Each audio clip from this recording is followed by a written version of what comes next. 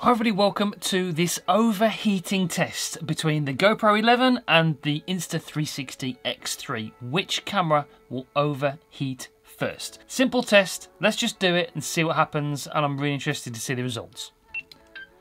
So We've started the clock. We've got both cameras set on the same settings. Now, before we get some comment warriors down there saying these cameras aren't the same, well, this year they actually are. Both are action cameras. The Insta360 X3 just happens to be a 360 camera as well. They've got a single lens mode now on the X3, which allows it to perform as an actual action camera using either the front or rear lens, depending on which one you select.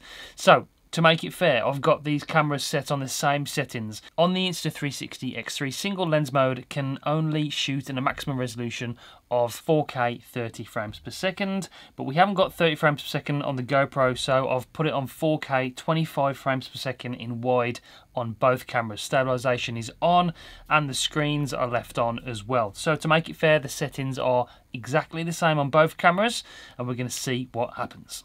While that's going, this might be a good time for me to say consider subscribing to the channel because we've got lots and lots of cool videos coming really soon. We've got these two new cameras for starters. We're going to be doing a detailed comparison review. That's the next video. Then I'm going to be comparing the GoPro 11 to the Insta360 One RS. That's the next one after that. And we've got other cameras on the way.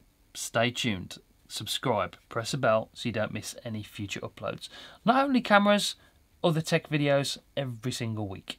Also, if you're after either one of these cameras, both are great. I've got no affiliation with either one of these companies. I'm a big fan of Insta360, but I do still like the GoPro, still think it's got its uses. So if you do want to buy one, there will be an affiliate link for both of these cameras in the description down below. Insta360 do support this channel quite a lot, so if you do want to buy one of the cameras, down there in the link Insta360 are giving my subscribers a free invisible selfie stick with every purchase through the link below and if you buy one of the bundles I still think the offer is on for getting free lens guards with the camera as well okay that's 10 minutes temperature check let's do one oh nearly 40 degrees 28.4 Nearly 40 degrees on the GoPro. GoPro's getting warm. Ooh. Still both quite warm. That's uh, 15 minutes. Both on 15 minutes. Temperature check. Has that temperature gone down? Oh, okay, no. 41 compared to 31. Yeah, 31.7, 41.2. Okay, we're still going. 15 minutes and 30 seconds. GoPro's notably warmer. Like, a lot warmer. Still warm the X3, but GoPro is hot. Okay, coming up to 25 minutes on both cameras. We're still going. 47.3 degrees on the GoPro. 34.8 on the X3, but they're still going at the moment.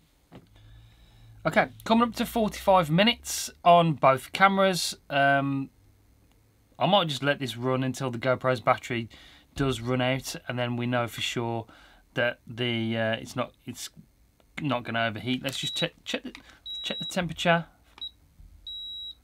50.4, 38.1 on the X3.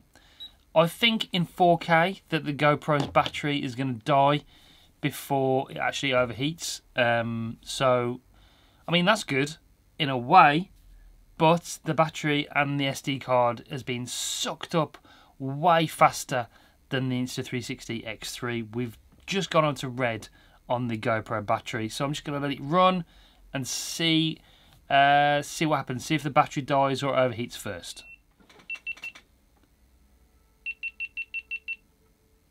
Okay. Battery's died on the GoPro. 49 minutes, 20 seconds. So we know in 4K the battery will just die before it overheats. That's a good thing. The Insta360 on the other hand is still going. When it's recording, the X3 doesn't give us a battery percentage, but by looking at it, it still looks like it's got about a quarter of the battery left. Um, On the SD card, we've still got an hour and 23 minutes. I mean, Jesus, that GoPro is really hot. 51.9 degrees. The Insta X3, the yeah, Insta360 X3, 38.5. In 4K mode, that's pretty conclusive. The battery dies, and that is the Enduro battery in there as well. It's supposed to be big. It's 1720 milliamps, and we've got 1800 milliamps on the X3. So the battery dies before it overheats in 4K. So I'm stopping recording. We are stopping that 15 minutes and 48 seconds. So conclusion, neither of these cameras are going to overheat in 4K. The battery is not as good as the Insta360 X3 on the GoPro 11 and the file size seems to be a lot larger on the GoPro for editing footage, transferring it and stuff like that. So that is the conclusion of this video.